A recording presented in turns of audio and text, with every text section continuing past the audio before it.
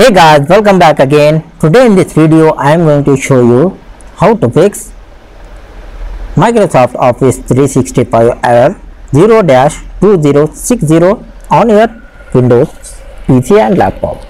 So for this guys, I will show you three methods for fix this problem. First one, troubleshoot the network and internet. So open the Windows settings. So here select the system and scroll down here. Select the troubleshoot option and select the other troubleshooters. Now select the network and internet option. Finally you can see network and internet. Click on run and complete the process and restart your computer. And the second method temporary temporarily disable the VPN proxy and firewall settings. So once again open the Windows settings, select here network and internet,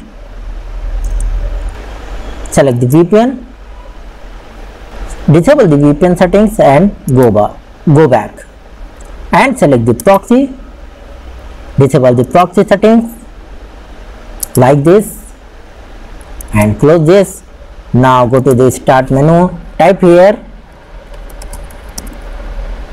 windows security.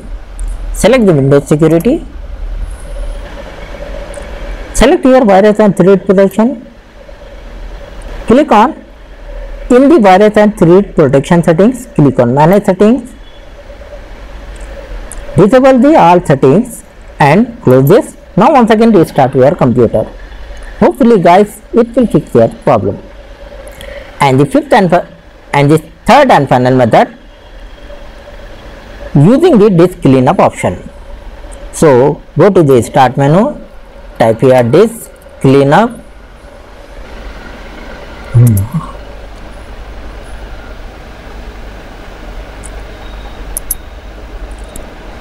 Wait here for complete this process.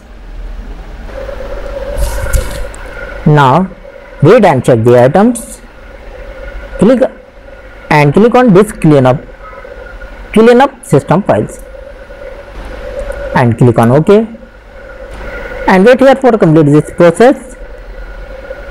Once again check the items. Click on ok.